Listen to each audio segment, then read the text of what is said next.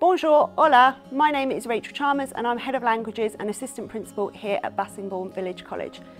At Bassingbourn, students in Year 7 study either French or Spanish and this is decided by the group that they're in. Students continue to study this language for Year 7 and 8 before they make their GCSE option choices. Within language lessons, there are lots of opportunities for developing communication and speaking skills to enable students to be able to communicate confidently in the language. We also place a big emphasis on cultural knowledge and introducing students to the cultures and lifestyles of France, Spain and other countries which speak these languages, as we feel that this is a big part of learning a language.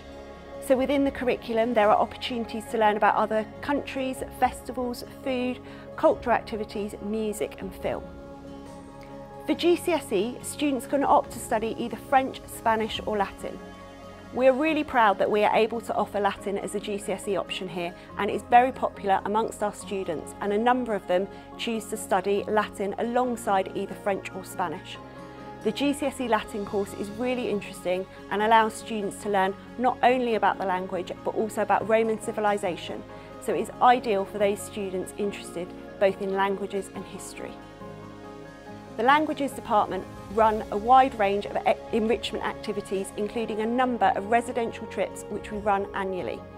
Every year, our students from all year groups can opt to take part in our French and Spanish exchanges, which we run with our partner schools from Grenoble and Albacete.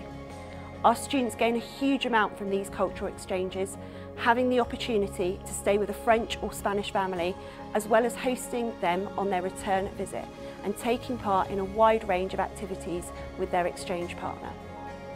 As well as the exchanges, we also run a very popular Year 8 trip to the Opal Coast in France, which we visit every year in June to introduce students to French culture.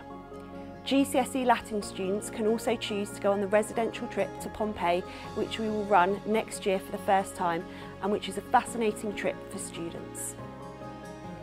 As well as residential trips, the Languages Department also offers students a range of other enrichment activities such as inter-college competitions based on the European Day of Languages, an inter-college spelling bee for Year 7 students, trips to Cambridge University to visit the languages department there.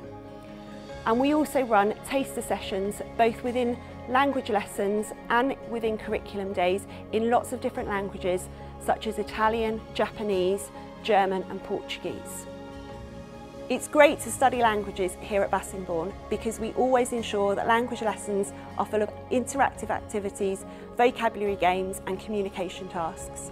Hopefully this video has given you an idea of what it is like to study languages here and the enrichment activities and trips that are available to students. Au revoir, adios.